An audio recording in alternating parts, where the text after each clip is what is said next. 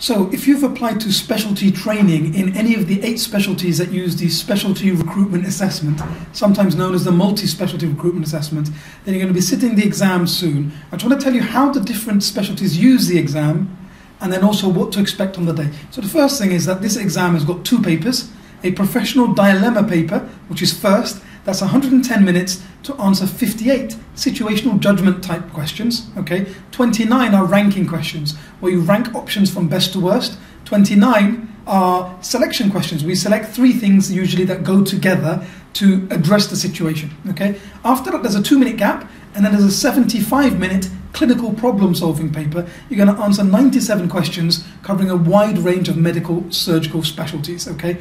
So now let's look at how different specialties will use the score. So what happens if you've applied to more than one of these specialties, you sit the exam once and the same score will automatically go into your application via the Oriel system. However, each specialty gives it different weighting. So we'll start with the one that gives it the most weighting, which is general practice. So in GP, the scores from the SRA make up 60% of your overall weight.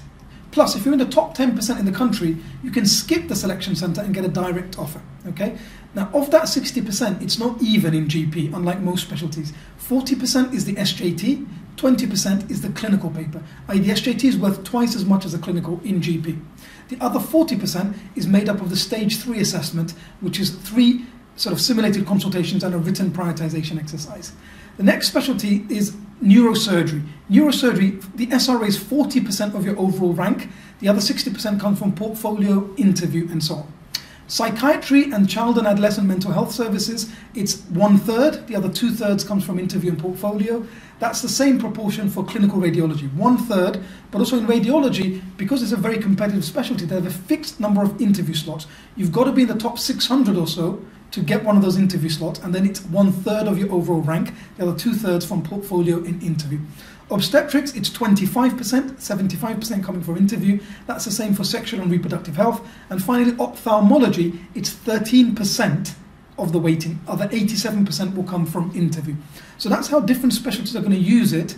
Now, in terms of the actual exam, how are you going to prepare? Well, for the clinical paper, really, it's about spending time revising the knowledge covering the curriculum and practicing questions. So good sources for sort of focused reading, Oxford Handbook of Clinical Medicine, Oxford Handbook of Clinical Specialties, wide range of specialties covered as you can see here. Um, and in terms of practice questions, the eMedica online service has got over 2,000 questions covering both papers, including full mock exams for the clinical and the SJT.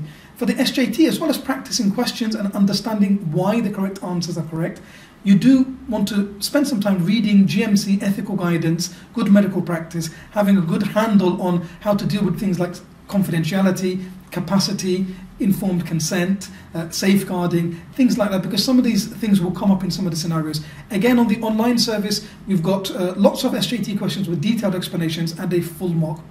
Right, so how are you going to prepare for the SRA? Well, as well as our online revision, if you'd like some intense focused revision to develop both exam technique, particularly important for the SJT paper, but also to cover high yield clinical topics, get teaching mock, and then high, all of the ethical guidance and GMC guidance you, you need for the SJT, and then a teaching mock with detailed explanations. Our SRA Crammer course is running in London, Manchester, Birmingham, and also a worldwide live stream so you can join in from home.